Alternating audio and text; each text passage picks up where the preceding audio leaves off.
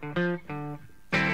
Muy bien, y nos vamos nuevamente a las calles de San Luis. Allí está nuestro compañero Francisco. No es un póster, no, no es una gigantografía. ¿eh? Si usted está pasando por ahí, no, no, no, no. No Si es por la avenida del fundador ¿eh? y está yendo en dirección al centro o en dirección al Walter Martín, no está viendo una gigantografía del chueco. Es real. Porque lo podríamos hacer, ¿eh? No Sí. estaría mal, ¿eh? No es estaría mala, mal. Chueco, ¿eh? Porque la gente cree, ¿viste? La gente dice, no, el de este loco está en todos lados, imposible.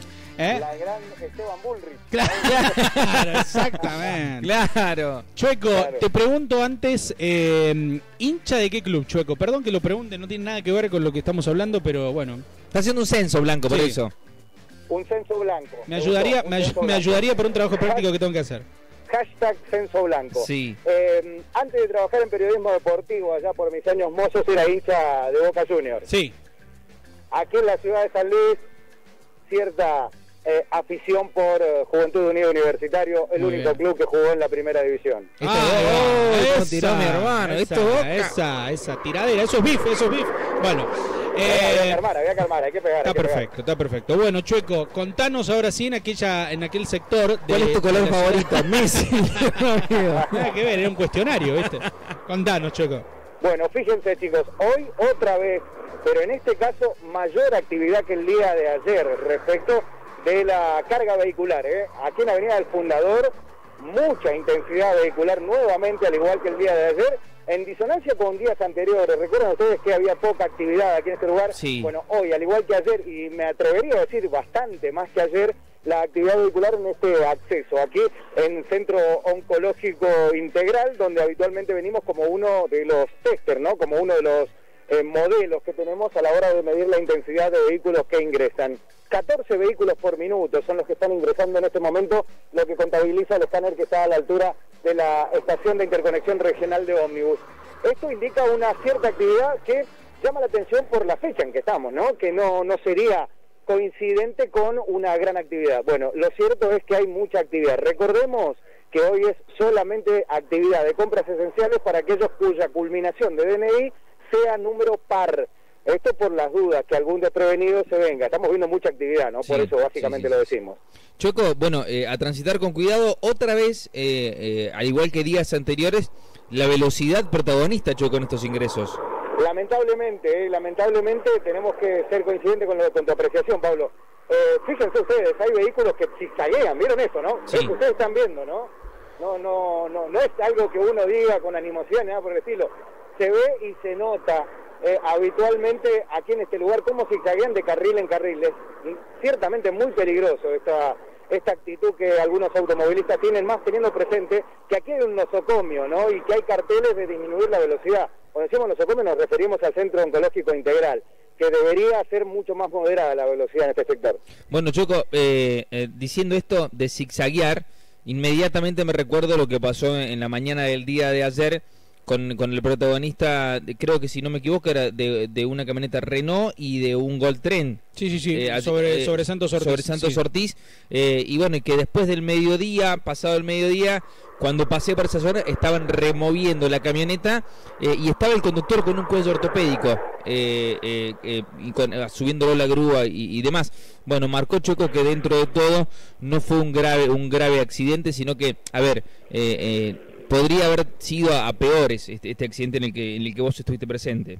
Totalmente, y esto habla de la pericia del conductor del Gol Tren de color gris humo, porque percibía cierta actitud zigzagueante o titubeante del conductor de la, de la Renault, y esto hizo que no pasase a mayores, pero podría haber terminado, sinceramente, de una manera mucho más catastrófica. ¿eh?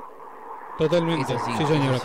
Bueno, allí largó el semáforo de vuelta, este es el movimiento que hay en aquella zona de Avenida del Fundador, eh, en uno de los principales ingresos de la, a la ciudad capital. Y eh, vemos una gran cantidad de vehículos a esta hora de la mañana, tiene que ver seguramente con el horario, es un horario de apertura de comercio, es un horario en el que la gente también aprovecha para hacer sus compras. Recordemos que hoy están habilitados para hacer sus compras aquellos que tienen terminación de DNI par. Y también eh, para aquellos que hemos podido eh, realizar nuestras, nuestras compras ayer, eh, se está usando la aplicación Trazar Sí. eh, en prácticamente en todos los lugares donde entras ya, ya se está usando. Eh, mínimamente podemos llegar a encontrar algún que otro comercio que aún no, no lo tenga habilitado, aparte de que es obligatorio, pero eh, en la mayoría de los comercios, o por lo menos de los grandes supermercados y de las grandes cadenas de electrodomésticos, ya están trabajando con la aplicación Trazar y esto hace que eh, el ingreso de las personas también sea mucho más rápido. Esto también lo hemos visto, Chueco.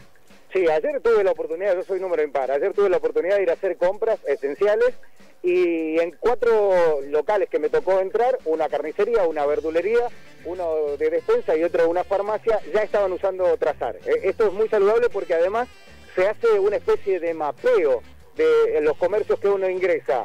En los cuatro comercios era la primera vez que me escaneaban. En el primer comercio me escanearon el DNI, en el segundo comercio, al momento de escanear, ya tenían la información. Obviamente, por mi afán periodístico, les consulté, ¿no? Lógicamente, cómo era la modalidad. Voy a mostrar por qué acá está ingresando un vehículo, lo que decíamos, ¿no? De la velocidad en este lugar, ¿no? Sí, Frenan Y, detienen vehículos, la velocidad aquí no sería lo más, lo más conveniente. Reitero lo, que decía y vuelvo otra vez al comentario. El siguiente comercio donde me hicieron el, el escaneo de mi DNI, directamente ya tenía como el mapeo en los lugares que había ido.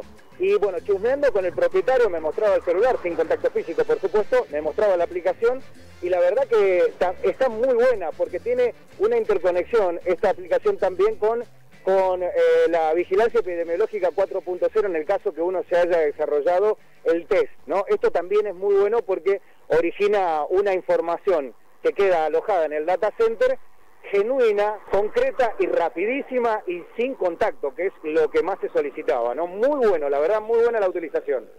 Bueno, Chueco, em, en un ratito vamos a vamos a volver, ¿eh? nos vamos a ir a, las noticias, pero en, breve volvemos. Dale. Chueco, aprovecho y te pregunto rapidito, vemos que se está levantando el vientito, empiezan a, flamear esas banderitas allí.